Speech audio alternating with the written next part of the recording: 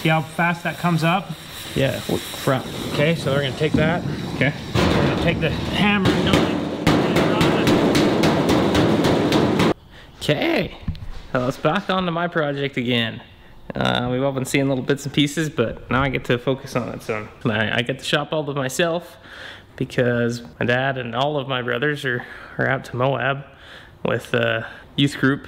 Hopefully they're gonna have some fun. They're gonna go raft the river and hit a couple trails. So, I mean, should be a good time.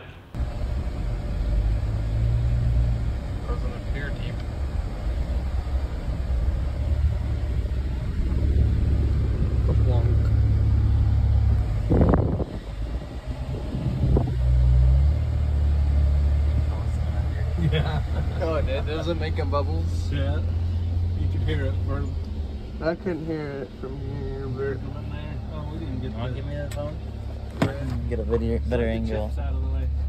Corbin, slide the phone. But uh, I'm just gonna do a bunch of finish work while they're gone. Gonna get the inner fenders ready for paint, the fenders ready for paint, the doors. Um, hopefully Kendall's gonna be here at some, he, he said that he got a shrinking hammer. So we might be able to, to fix my hood. Um, we'll see if that's even a possibility. I'll probably get some AC lines made, heater lines stuff.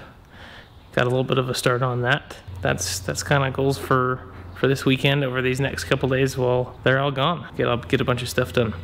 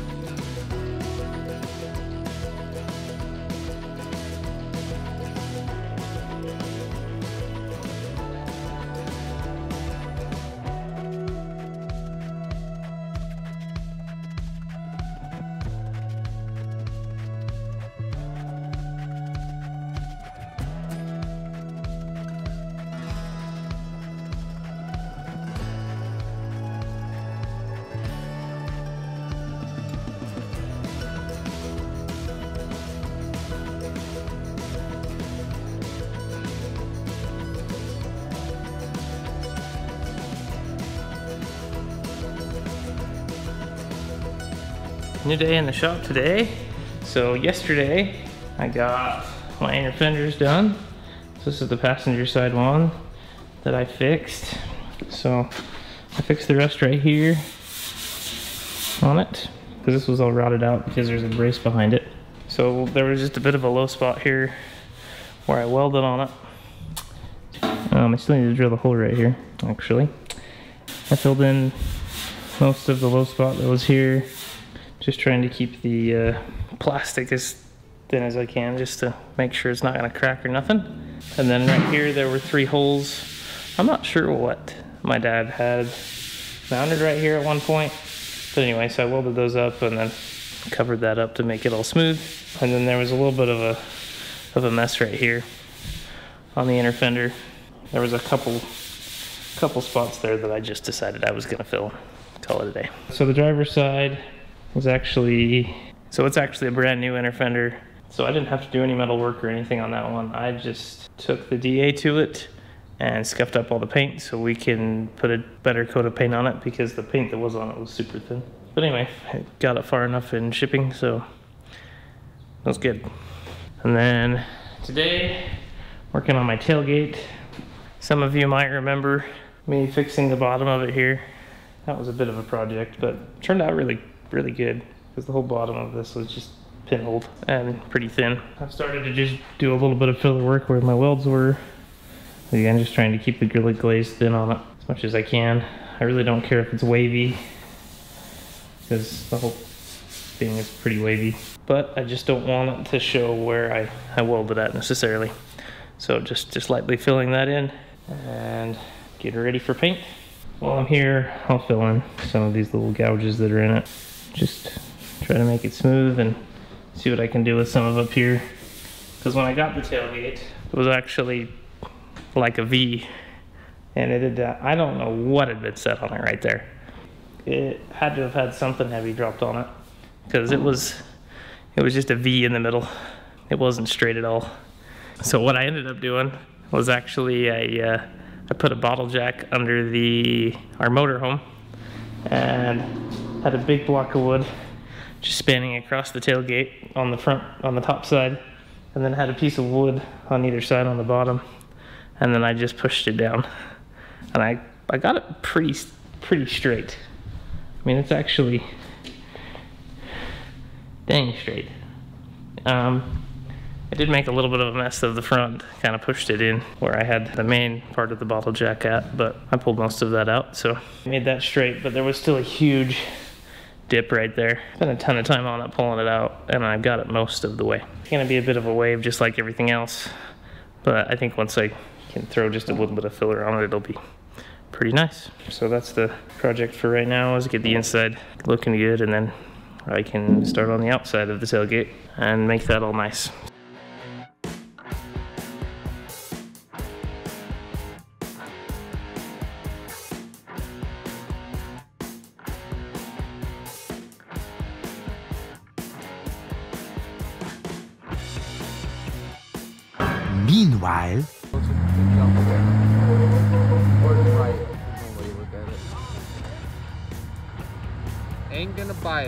Too much air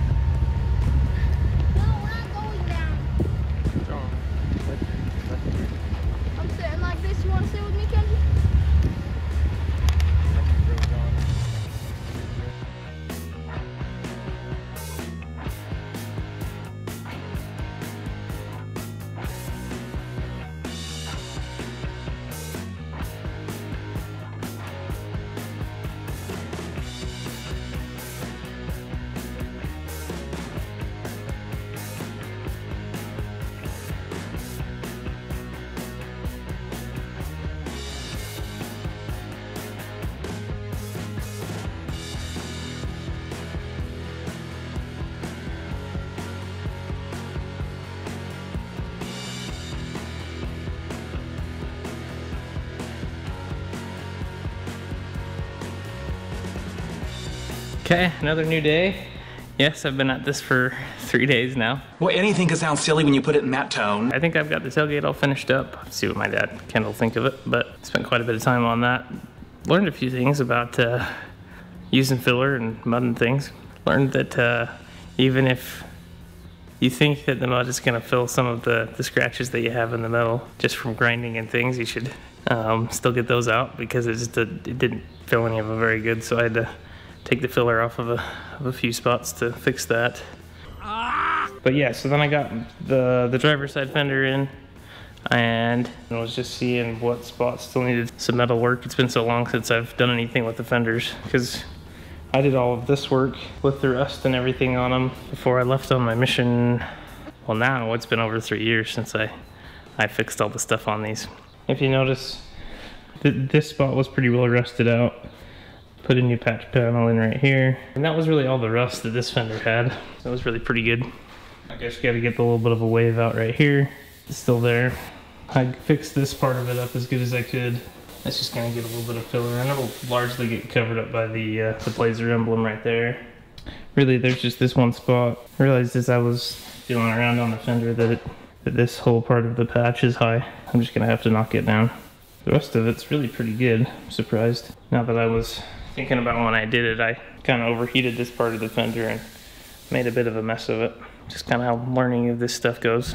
Spent quite a bit of time on it. I, I did a really good job. Not to toot my own horn, but I feel like I did a really good job on the passenger side fender when I did it.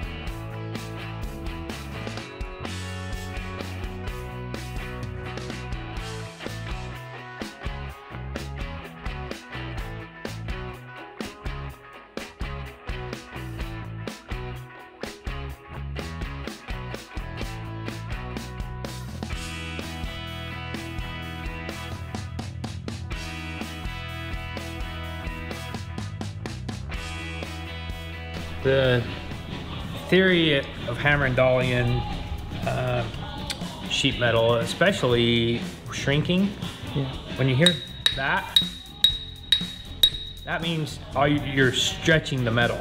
Okay. So, so if you hear,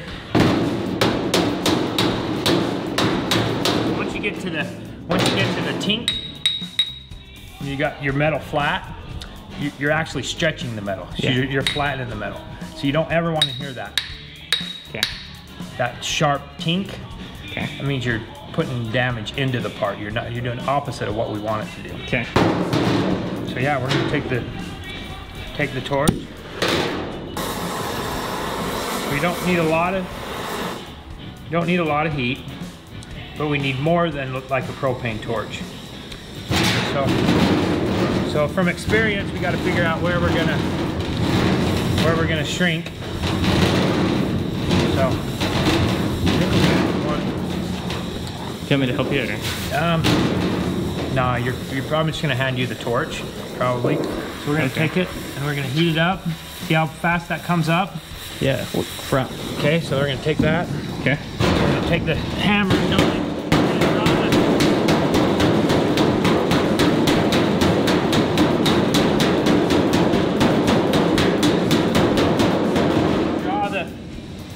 draw the metal into the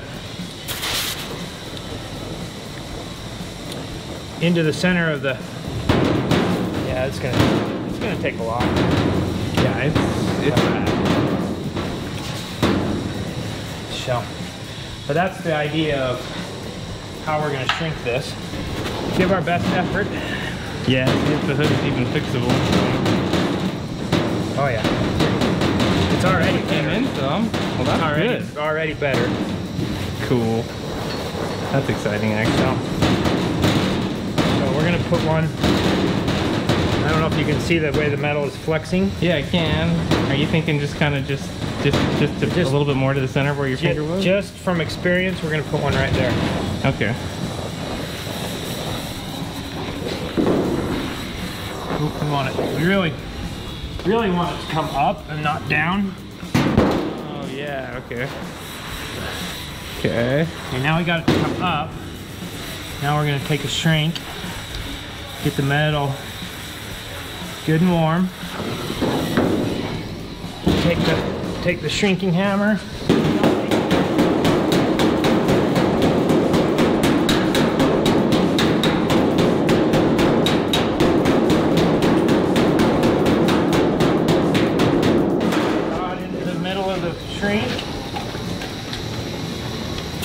And then cool it.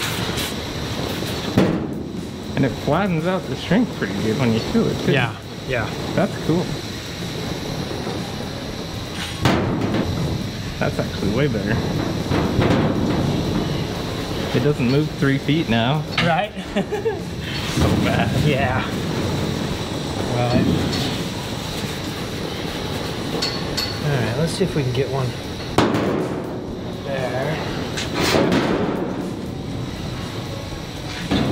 we want the you just put it right there? up.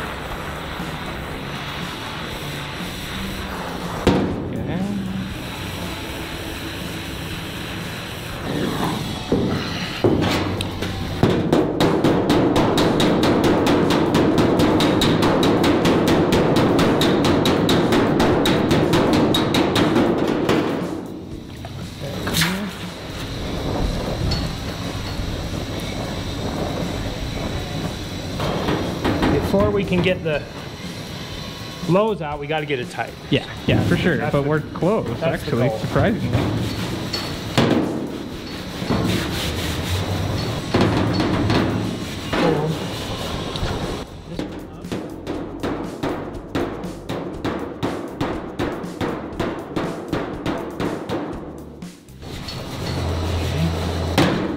Put one. Need to put a little shrink right there. Yeah, we're gonna put one right there.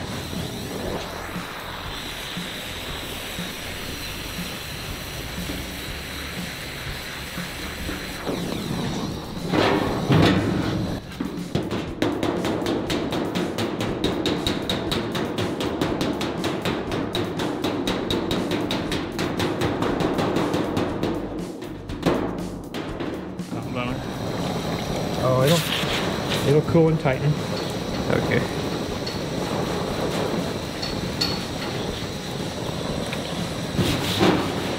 Oh yeah. See, and that brought that low up. Yeah, Now this is a little bit low here, but now but it's reasonably tight. yeah, it's it's coming. You ready to try one? Sure, I can. Alright. Okay, I'm gonna film you. It's my turn to film you. Yeah. Okay, so we gotta figure out where we're gonna put it though. Yeah, we do. Okay. But it's not like moving around a bunch to make it easy. No, and we wanna we wanna keep our shrinks closer to the edge. Okay. Um, because if we go out and shrink that, we'll make a mess out of the whole panel. Cool. So if we can keep our shrinks to the outside edge of the panel, then this will come up. This is all low, Okay. but we'll be able to. Um, this this outer edge is always tighter. You know, it's, Okay. it's always easier to work next to next to the edge. Yeah, that's true. So we want to keep our shrinks towards the outside if we can. Okay. But we need to go. Let's go with one about right there. Okay. So um, then we just say right here. Yeah, about right in there. Coming out. A little hotter. Yep. Good just till you see it starts turn red. Okay, that's good. Okay. Now draw hammer underneath. Draw the metal towards the center.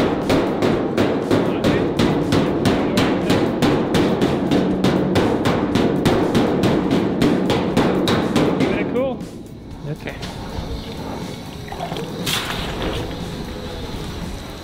Alright.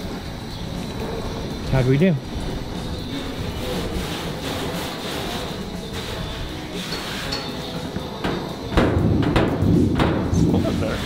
Yeah. It's better. It's way better. Yeah, it's actually some tightness to it. Yeah. This is a little lazy. Still a little wavy, but we'll we'll work on that. We got to get the Yeah, Gotta get this the- is still way too big right here. yeah. Okay. Yep. So now we need to find another spot for where are we gonna shrink her next. So we can kind of just yeah, That's way tighter. Yeah, it is, actually. So when so when you hit the hammer, you slide it towards the center. Yeah, you want to draw the metal towards the shrink. Okay.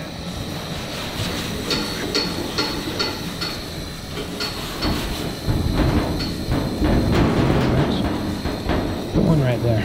Right there. Yep. Okay. Let's see if this one comes up. I'm worried. So it's gonna get down.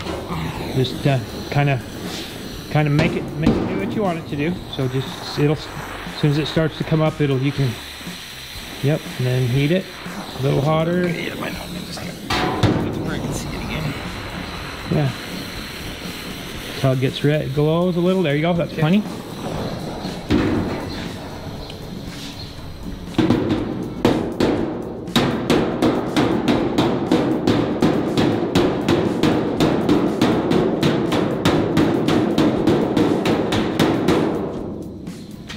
It'll look and feel terrible till you cool it. It does. Looks like you got a huge mountain in the middle of your panel. Yeah. Well, how'd we do? Better? Yeah, that's is. Getting better?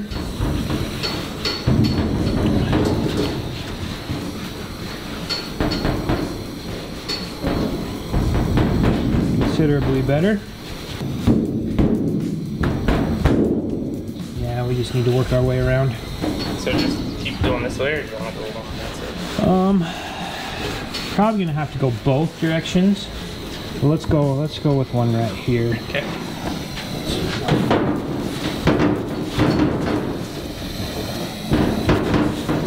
Yeah, make sure that one comes up.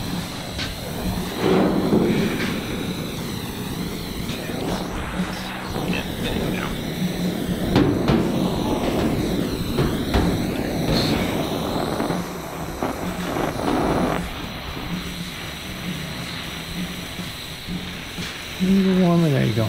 Perfect. Yep.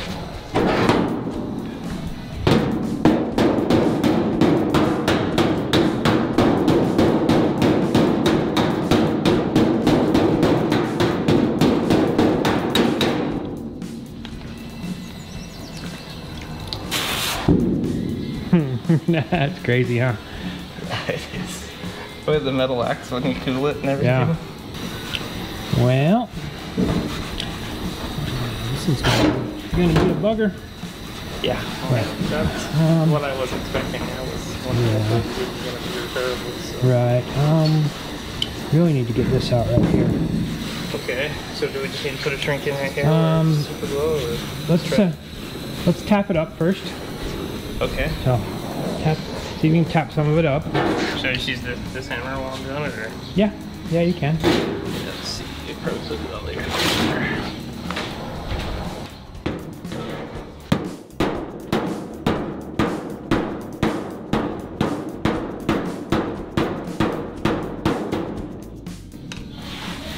Okay. Still pretty low right here. Yeah. Go ahead and tap that up.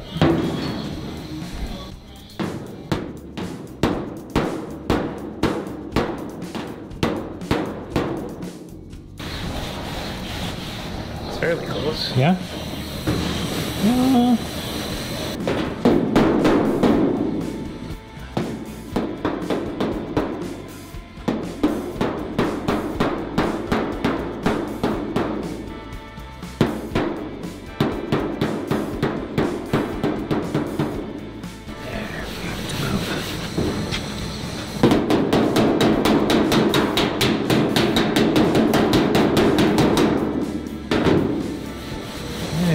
Just a little more force is what we needed. Yeah. It's still out there.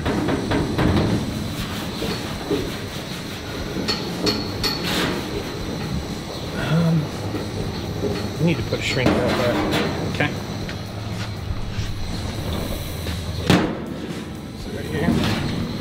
Right there. That'll probably go down. Yep.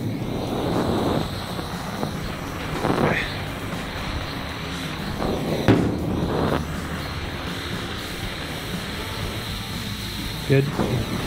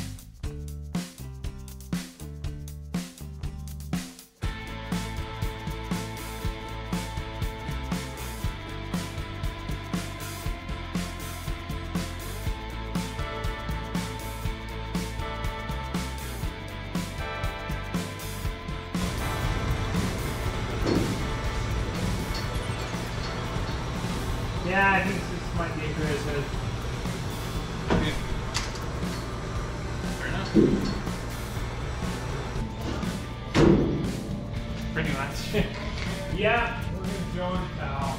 Okay, so it's another day, but um, so with the other hood, me and Kendall decided that it just wasn't really fixable at that point. So it'll probably turn into a hood for Grizz. He's thinking about narrowing the front of it up, kind of Ving it in like Paul did. Not as much as he did, but it'd be a perfect hood for that, because then you'd be able to actually fix all of the metal that's been stretched in it. But anyway, so I got this hood. I'll have to show it from the top, but this one's super straight. Um, most of what that other hood was before we took it to get sandblasted, but live and learn. So the sheet metal's good. I just got a few things in the actual top of the hood to fix. And then, so on this, so the hood hinges had been super, I guess neglected is maybe the good word for it, but they were bad. So yeah, I kept this as a template so I can fix this because I'm not sure exactly what happened. I might have like cross-threaded the bolt and then spun the insert and then managed to pull it out later. I don't know. But they ended up actually just having some self-drillers that was holding this onto the hood. So anyway, I've got to fix this, but this is a good template as to where the bolt should be. And the hinge was totally junk, so I just cut it up. So that's what I saved this for, is as a guide that way. But so what I'm just gonna do is I'm gonna cut this section out, just weld a new section in with the bolt welded down to it. I think it'll be way better and honestly easier to fix than this is gonna be because it's so hashed. Anyway, so just take, took some measurements from this side of this distance, like an inch and a quarter from like the center of this bend to the center of the hole. And then I have this to measure front to back. Just getting on fixing that and then take a couple vents out of the top, DA it really good and a little bit of mud and it should be ready to go. Way easier to fix than the other hood, but I did learn some things, that was cool.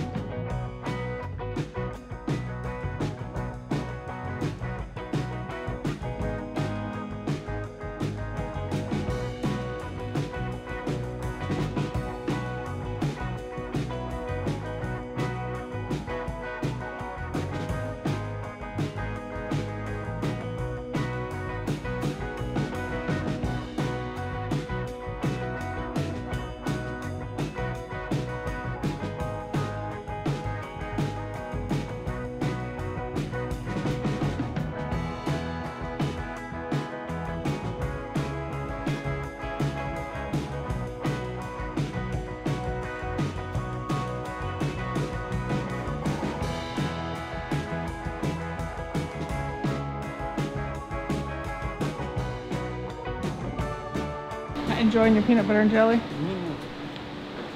your comfort food? I'll always love a good peanut butter and jelly. I'm like three again. Kaden, it looks good. Got the hood all stripped. I just gotta get some of the dents out of it.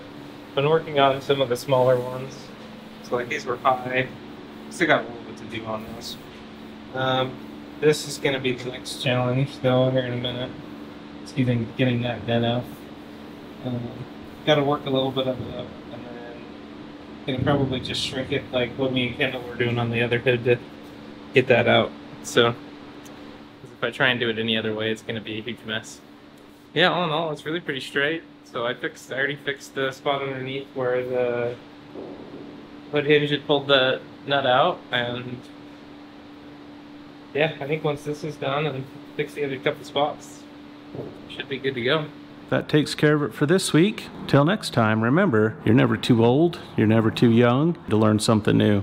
So don't be afraid to get out there, try something different, maybe discover a new talent you didn't know you had. Thanks for watching.